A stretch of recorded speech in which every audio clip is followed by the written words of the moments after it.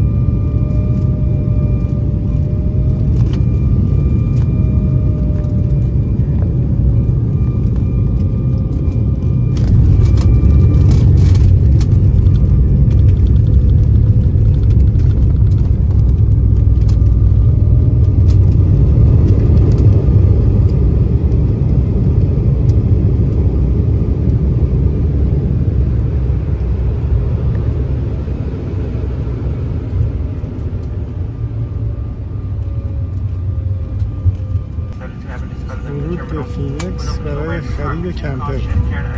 من اومدم بالاخره کمپر بعدی خریدم که با باتری کار می‌کنه و شارژش هم مجانیه. این خودش خیلی به من امکانات میده برای سفر. برای همین خلاصه می‌خوام برای اولین بار رونمایی کنم. ببخشید. نه این تسلا نیست. اینم کمپر بعدی من. تسلای 2016 مدل 90 دی. اینش مشخصش خیلی شبیه ماشین خود منه. رنجش هم 230 مایل تست کردیم.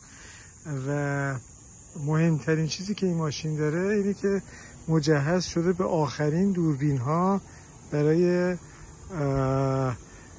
اتوپایلت. این دوربین چیزای جدید. برای که بتونه کار کنه؟ مثلا تو ستون و دوربین داشته باشه. و جاهای دیگه. هشت تا دوربین داره. و ما اینو خلاصه یعنی یه چیز خیلی استثنائیه. اساس هزار تا یکی نرفته این کارو بکنه. 15 هزار دلار طرف خرج کرده. روش تمام این چیزها رو گذاشته.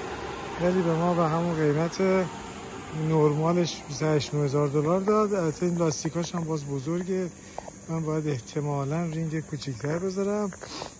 اینم بقیه ماشین. از ایالت آریزونا. ایالت خشکیه از نظر خشکیش خوبه. از نظر داشبورد اینا خوب نیست. اگه خوب نگهداری نشده باشه.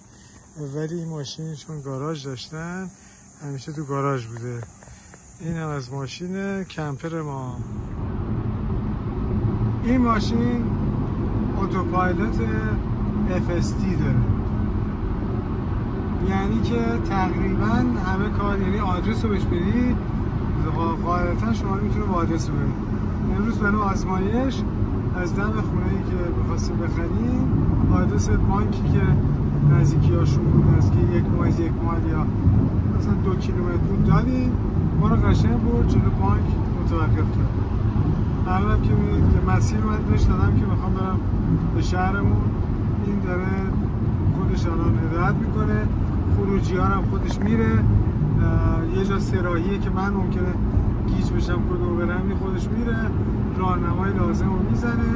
البته همه این کارا رو که می‌کنه انتظار داره هنوز دستتون رو فرمون باشه برای که اینا نرم افزاره. اول آخرش یه دفعه ممکنه گیج بشه یه کار اشتباه می‌کنه که مرگبار باشه نتیجهش. برای همین میگه فقط دست رو فرمون بزن. من همون وزنی رو که توی تستای دیگه دارم نیاوردم با خودم. یه آدم بود میآوردم کارون آسون بود. حالا این داریم امتحان می‌کنیم این تا چه حد لازم داره؟ دستور عمل بشه الان تا 22 سه مایل آینده همش مستقیمه. خیلی با اون مال خود من فرقی نمی‌کنه. اونم مسیر صاف رو میرم. ولی این تا اینجا که آزمایش کردیم خروجی و ورودی رو قشنگ میره. راهنما رو می‌زنه همه کارهای درست رو می‌کنه. ولی حالا چند درصد موقع ممکن یادش بره و اشکال داشته باشه اونو هنوز نمی‌دونم. داریم فعلا باش تجربه می‌کنیم. در ضمن دید خیلی قشنگی هم این جلو داره. اگه دوربین رو بچرخونیم دست کامل بک ماونتن کوه پشت شطور.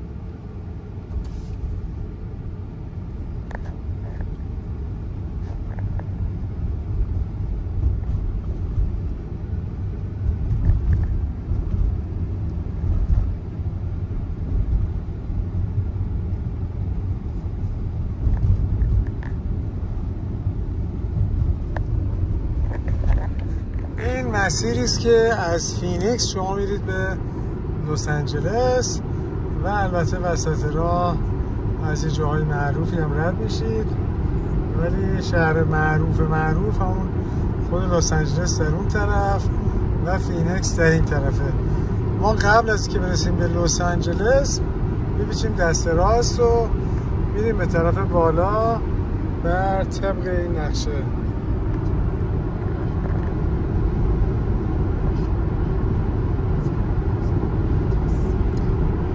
لطف کنید که وقتی یه مسیری رو می‌بینید اونو قضاوت نکنید که همه امریکا اونجوریه یا همه امریکا شبیه همه جای ایرانه. امریکا رشت داره کاشان داره جاده خوشساری داره جاده درختار داره ایران هم داره. بنابراین اگه بخواید مقایسه کنید هر کدوم باید با ایالتی که شبیه خودشه مقایسه کنید نه چیز دیگه.